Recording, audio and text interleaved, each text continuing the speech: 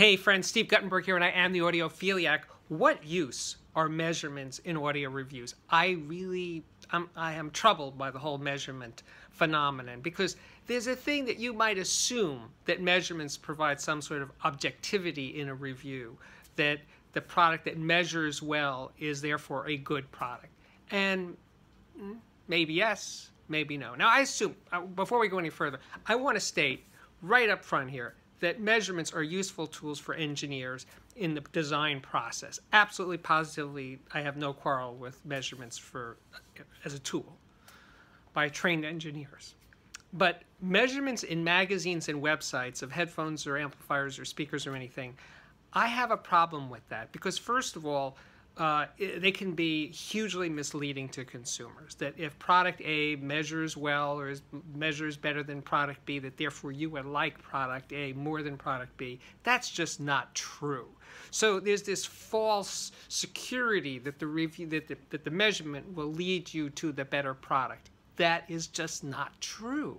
People like things that measure worse. I mean, I go to back to my analog versus digital uh, digital measures in almost every single way better than a, the sound of an LP, and yet many, many, many audiophiles prefer the sound of vinyl. So better measuring anything doesn't ensure uh, user satisfaction. It's just not the way it works.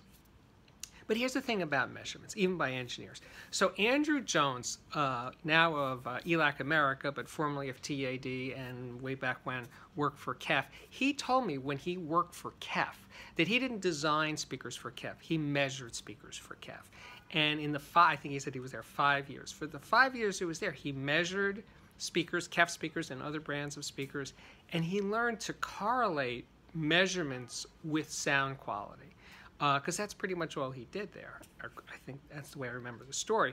And the point of the story is, is that he came to realize that when he measured a speaker and it didn't measure the way he thought it would, he would question the way he measured the speaker.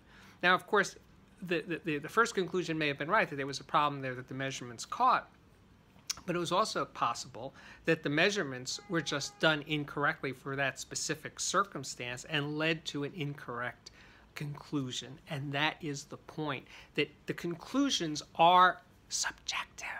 Yes, subject uh, measurements have to be evaluated by human beings who see certain things and make certain assumptions about what those measurements mean, and that's the point those are trained engineers that can make those assumptions, but when consumers or reviewers who are not really engineers make assumptions about what measurements mean and how they correlate to sound quality, mm, that's a big black hole.